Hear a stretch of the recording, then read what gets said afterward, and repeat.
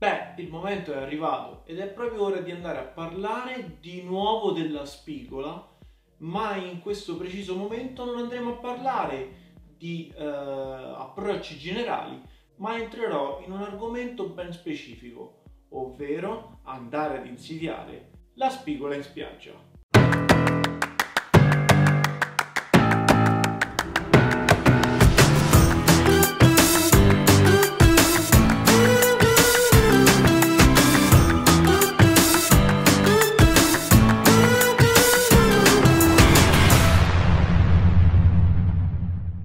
Bentornati ragazzi a questo nuovo video dove tra virgolette andremo insieme a capire dove potete andare a trovare e insidiare la spigola in spiaggia, quali sono i potenziali hotspot da tenere in considerazione e quali sono i punti da evitare e soprattutto andarlo a vedere anche con occhi.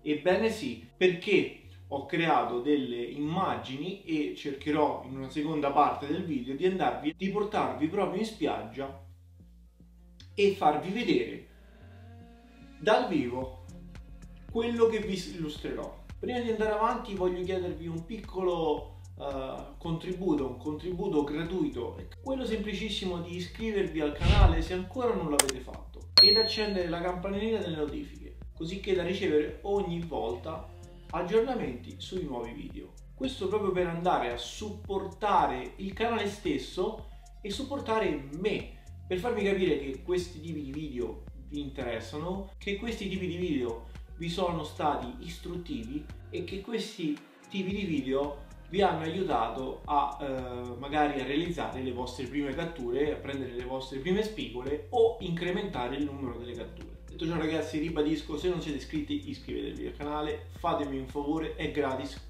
e costa semplicemente due secondi del vostro tempo. Iniziamo con il video, siamo in spiaggia non tutti gli spinner sono abbastanza fortunati di avere una foce nelle vicinanze o di abitare vicino a delle scogliere o semplicemente eh, per altri tipi di motivi non possono recarsi in questi hotspot. Cosa hanno davanti, davanti alle loro case? A tiro di macchina o molto vicino nelle vicinanze hanno chilometri e chilometri di spiaggia. Ma io posso insidiare la spigola in spiaggia? Ebbene sì, ma la posso insidiare tutto l'anno? Sni. Ci sono ovviamente dei mesi dove andremo ad avere, dove la frequenza della spigola è maggiore rispetto ad altri, ovviamente. Uno di essi è esattamente questo, la parte invernale, eh, e un po' meno la parte estiva. Il motivo è abbastanza semplice perché con il baccano e il caos che si crea durante l'estate la spigola non riesce ad accostare moltissimo, accosta le spiagge ma rimane a distanze eh, non facili da raggiungere soprattutto per noi che peschiamo a spinning. Iniziamo a spiegare che tipologie di ambienti potremmo trovare in spiaggia. Una delle condizioni che io preferisco per andare ad insidiare la spigola in spiaggia è pressoché il mare in scaduta oppure il mare montante. Tra le due situazioni io preferisco però sempre il mare in scaduta e c'è un buon motivo perché. Perché quando eh, il mare inizia a montare, quindi tende ad essere ora dopo ora sempre più agitato, il pesce ovviamente si attiva, si avvicina parecchio a, alle coste per cacciare tutti quei piccoli microorganismi, branchi di cefali, che vengono sballottolati da una parte all'altra nei vari strati d'acqua molto, molto vicini a, alla riva, proprio perché il mare sta montando. C'è da dire anche però che man mano che passano le ore, le varie correnti aumentano di energia ora dopo ora fino a spingere le nostre amate spigole, in questo caso, fuori la portata dei nostri artificiali. Le spigole si allontaneranno proprio per andare ad evitare le forti correnti che ci sono, che sono presenti a riva quando il mare tende a montare fino a, diventare un mare mosso se non di burrasca. Ecco perché preferisco un mare di scaduta perché ora dopo ora la situazione tende a migliorare, ma le condizioni ottimali per la spigola rimangono, perché ovviamente l'acqua rimane sempre un po' velata, i microorganismi sono sempre smossi, stati smossi, quindi granchi, cefaletti sono lì, rimangono lì e la spigola ha tutto il tempo e il modo di mangiarsi questi, queste prede eh, nei pressi della riva. Ed eccolo là perché un buono spigolaro preferisce il mare in scaduta. Perché è un mare pescabile anche se migliora. Anche le prime ore dopo che il mare ha finito la scaduta che diventa calmo, ok? È ancora molto buono. Ora, fatto, fatto questo piccolo preambolo, andiamo a capire nel dettaglio uh, dove lanciare i nostri artificiali. Avrete sicuramente sentito parlare tantissime volte di uh, canaloni, correnti di risacca, uh, le schiumate, le secche, eccetera, eccetera.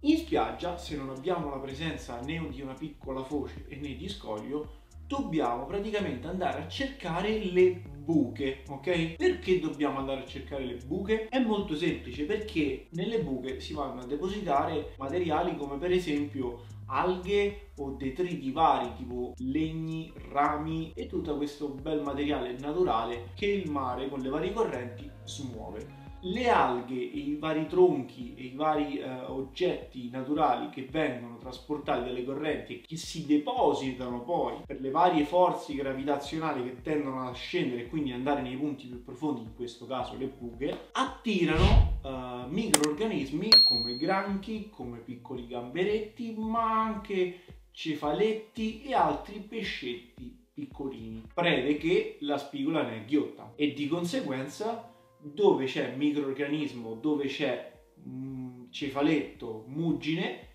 c'è spigola. Ora identifichiamo queste buche con un nome specifico, ovvero canalone. Se andiamo ad analizzare i primi 100 metri, 150 metri di spiaggia, noteremo che, no noteremo, ma eh, dobbiamo sapere che ci possono essere uno o più canaloni nell'arco dei 150 metri, facciamo così, diamo delle misure a caso.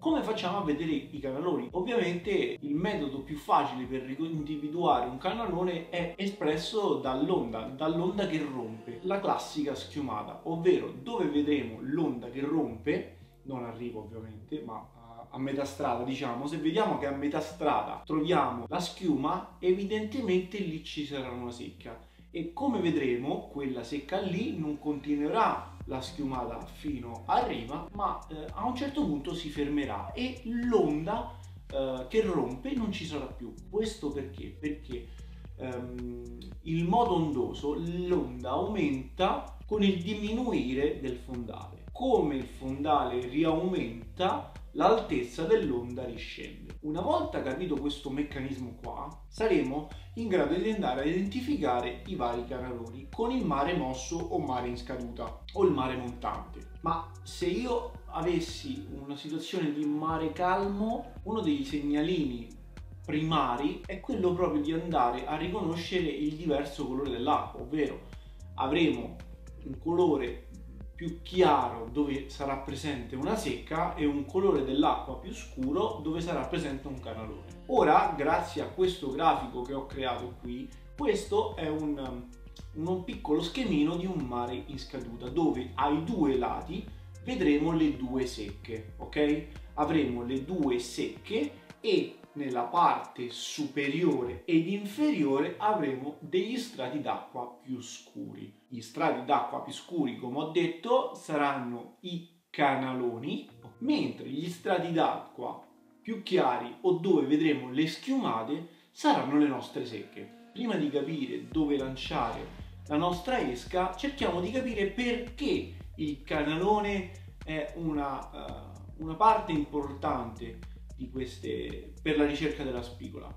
Avrete parlato sicuramente con qualche spigolaro doc e tutti quanti vi hanno detto la stessa cosa, ovvero che la spigola al 90-95% delle volte, se non quasi sempre al 100%, eh, attaccherà i vostri artificiali nei primi metri d'acqua, ovvero eh, nella risacca che viene generata quando l'onda eh, impatta proprio la riva, il bagnasciuga. Quindi una volta l'onda che arriva e torna giù, crea um, dell'acqua torbida, del, del, della sabbia in sospensione e in quei metri si crea anche un gradino, in quei metri là il 90% delle volte avverrà l'attacco. È capito anche a me? Andiamo però a vedere nel dettaglio il uh, canale, ok? Qui di seguito, come vedrete, ci sarà una piccola illustrazione del fondale che andremo a trovare nei pressi della riva,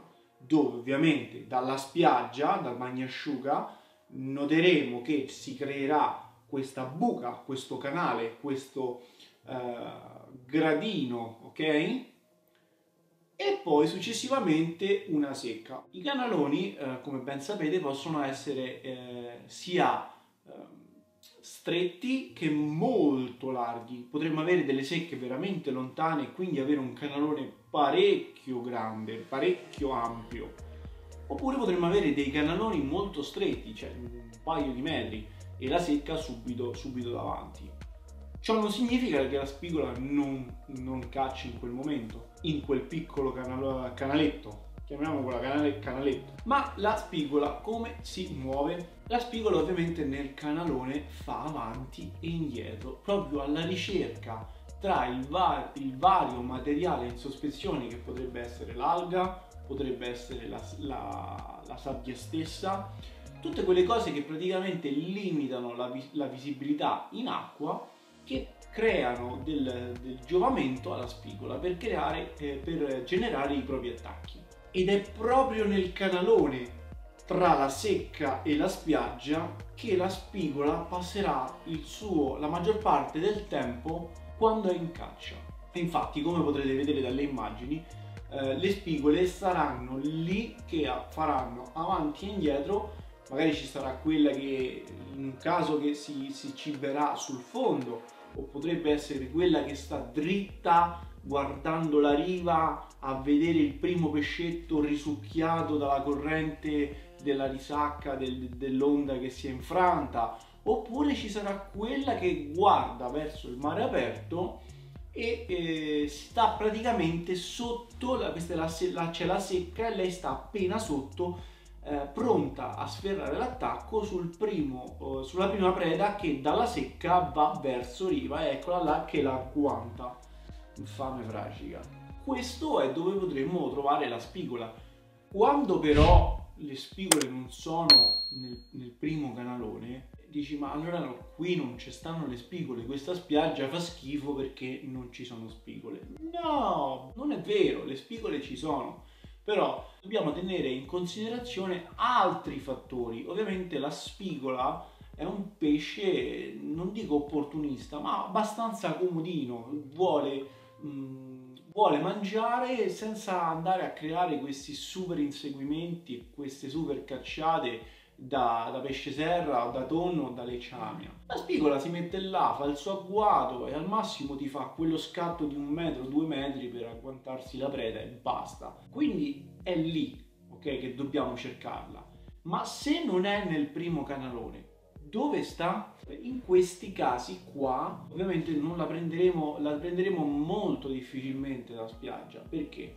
Perché sarà più lontana dalla costa. Qual è il fattore determinante per capire se la spigola trovia, la troviamo nella, nel, primo, nel primo canale o la troviamo lontana? La corrente di risacca, non la corrente di risacca che avremo eh, sul bagnasciuga, sul primo gradino, ma la corrente di risacca, quella vera e propria, quella che è pericolosa anche per l'essere umano, per noi stessi. Se riprendiamo l'immagine precedente, quella che vi ho illustrato con le due secche e i due canaloni, ok?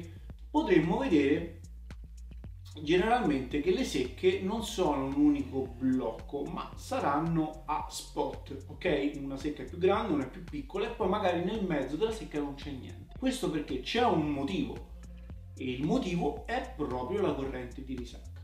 La corrente di risacca è una corrente generata da delle correnti che si combinano. Che cosa vuol dire?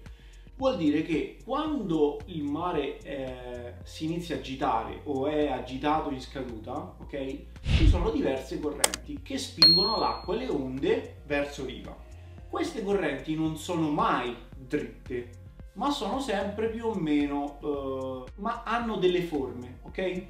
In questo caso hanno delle forme circolari, che possono essere più o meno grandi a seconda delle varie delle zone, delle ipologie, dell'intensità e della morfologia del litorale. Se prendiamo per esempio il caso specifico dell'immagine che vi ho creato, come noterete esattamente ci sono delle, delle queste correnti mm, molto, molto spesso vanno in sensi opposti, ok?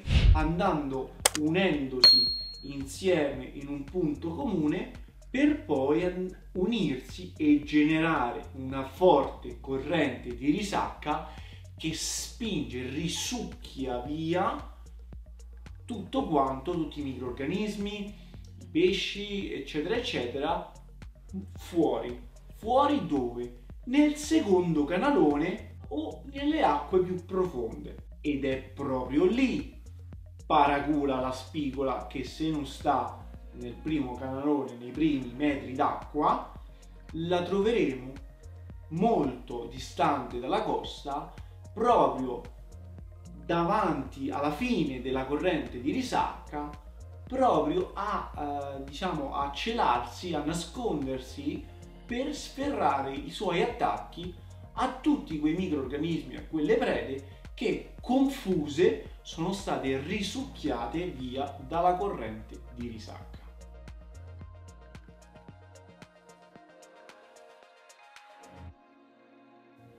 Ora, una volta capito queste, queste tipologie, eh, una volta mh, afferrato questi concetti, viene da sé che nella, esattamente nella corrente di risacca non ci dobbiamo andare a pescare perché i pesci vengono, risucchi- vengono risucchiati, gli esseri umani vengono eh, portati a largo, okay? un bravo nuotatore non riesce a nuotare contro queste correnti di risacca figuriamoci una piccola preda o un granchio o un gamberetto.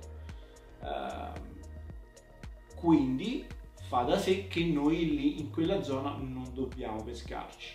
Dove dobbiamo pescare? Dobbiamo pescare nel canalone.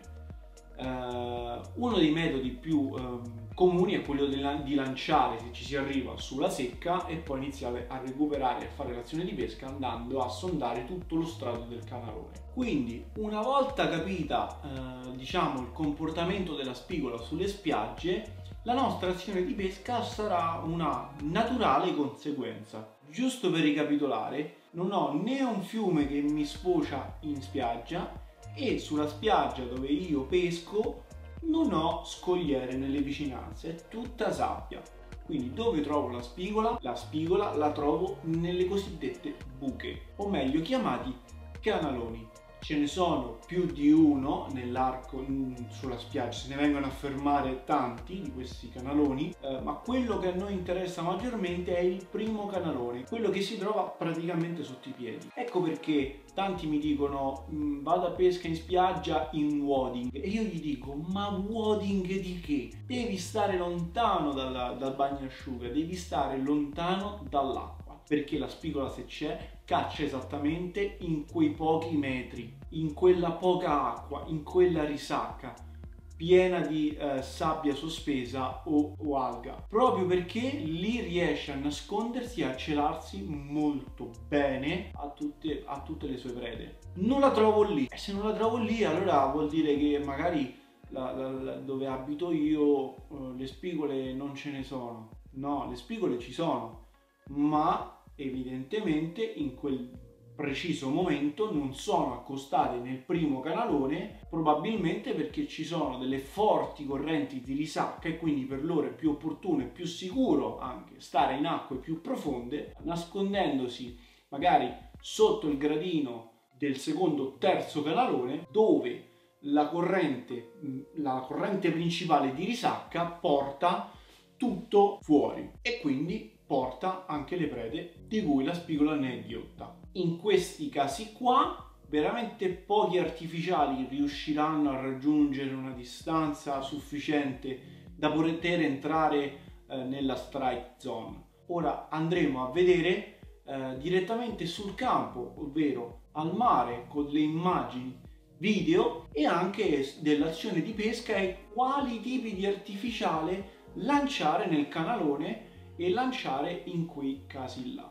Ma tutto questo lo vedremo nel prossimo video. Quindi ragazzi, se questo video vi è piaciuto, voglio almeno 200 like. Se non trovo almeno 200 like, non faccio il video dimostrativo sull'azione di pesca e gli artificiali da usare. Se questo video vi è piaciuto e volete vedere la seconda parte e poi ovviamente le altre parti che verranno sul, sulla spigola in scogliera, in scogliera e la stesso format, quindi poi un po' di teoria, un po' di tutto quanto e poi la dimostrazione, eh, idem con patate in foce e iscrivetevi a sto benedetto canale, su, dai, non vi costa niente.